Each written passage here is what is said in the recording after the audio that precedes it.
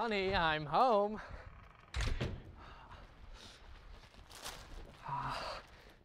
These are for you. Oh, Ed, how sweet. Rose is my favorite. You know, sometimes I even surprise myself. What's the occasion? I'm just so sorry for the past few months. I'm not really sure what's going on with you, but I know I haven't been very helpful with you and your job and. Have you been painting?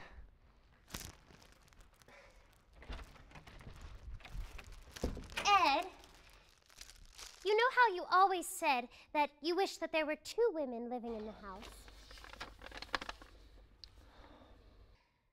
Well, what if I were the younger of the two?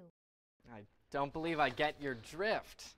I want something more than I've ever wanted anything before. I want to bring Mrs. Threadgoode to our house. I want her to live here. I want to give her the home and love that she's given to me. Are you serious? I am absolutely serious. That's why I repainted our room to make it This- nice. This isn't something you just do. She's a 90 year old woman. Besides, who's going to take care of her when she gets sick? I will. I can't leave her in that home, Ed. She's not a stray dog. She's not even family. She's family to me. Please, Ed. It's absolutely out of the question. Have you even told her about this harebrained idea of yours? She's the one that came up with it. What? That's that's crazy. Let's just forget it ever even came up. I'm making my own money now. I will pay for everything. You won't have to do a thing.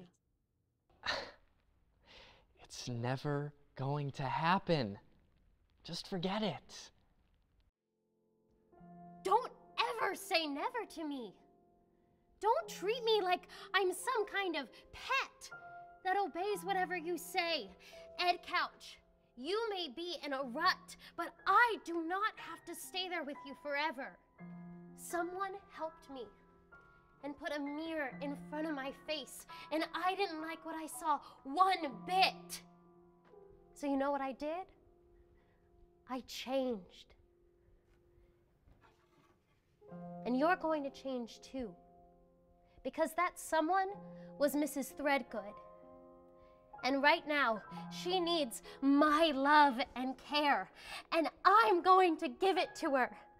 I'm going to give her so much love that she's going to drown in it.